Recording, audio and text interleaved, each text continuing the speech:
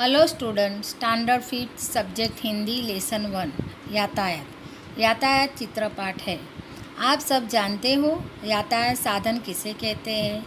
यातायात वह साधन है कि एक जगह से दूसरी जगह आराम से जा सकते हैं। आप सभी अलग अलग यातायात के साधन में बैठे होंगे। आज हम यातायात चित्रपाठ को देखकर उसे समझेंगे। इस चित्रपाठ में सड़क पर एक स्कूटर जा रहा है।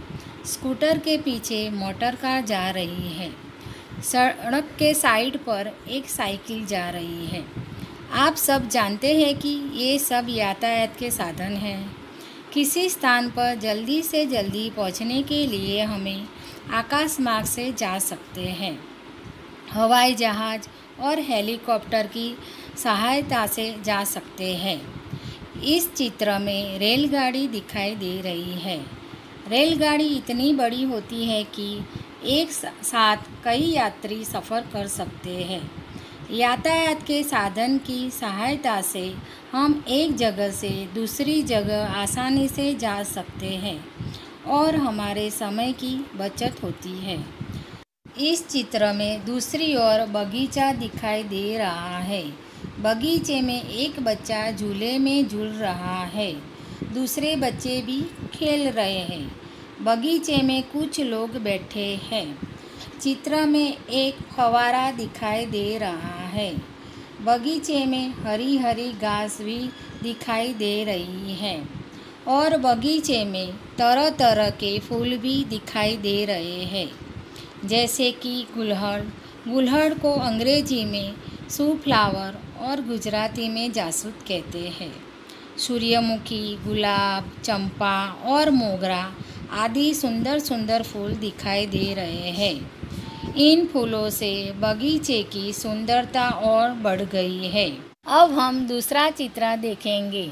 दूसरे चित्र में भी यातायात के साधन दिए गए हैं। सड़क पर चलने वाले यातायात के साधन में बस दिखाई दे रही है। बस के पास ऑटो रिक्शा दिखाई दे रही है। बस में एक साथ बहुत सारे यात्री सफ़र कर सकते हैं। पानी के यातायात साधन नाव और जहाज़ दिख रहे हैं। जहाज़ को जलयान भी कहते हैं। हम पानी के द्वारा जल मार्ग से एक जगह से दूसरी जगह जाना चाहते हो तो नाव और जहाज़ से जा सकते हैं।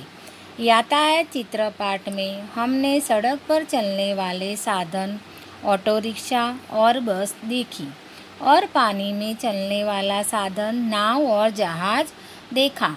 दोनों चित्रों को देखने के बाद उसे समझा और उसके नाम सीखे।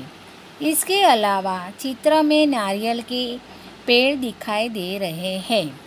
दो नारियल के पीछे एक घर दिखाई दे रहा है।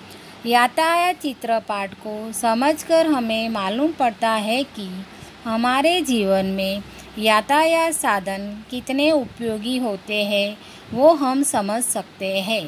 Thank you